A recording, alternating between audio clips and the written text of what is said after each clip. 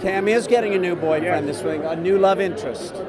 But we're not telling you who, except But that it's someone somebody that you know, but uh, we can't tell you any more than that. Uh, the hint is it's somebody that you know. There's a lot of conjecture, and we like that. He's alive, and uh, you know him. You know him. Yeah.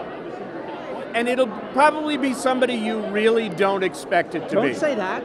That'd give a hint. no, I don't expect it to be anybody. It's not Booth.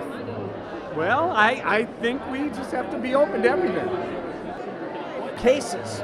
We've got. We're working on one right now where they are going undercover in ballroom dancing.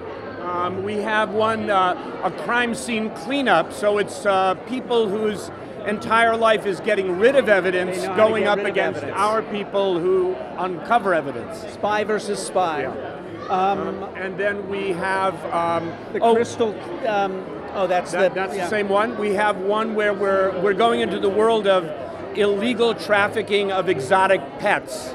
So um, tigers and um, endangered species, which are being bought and kept as pets. There may be a tiger on the show. Not promising. Yeah. I don't think Brennan and Booth will ever find normal for a while. They're they're diametrically opposed. I think they have a lot of stuff to work out. I don't think normal.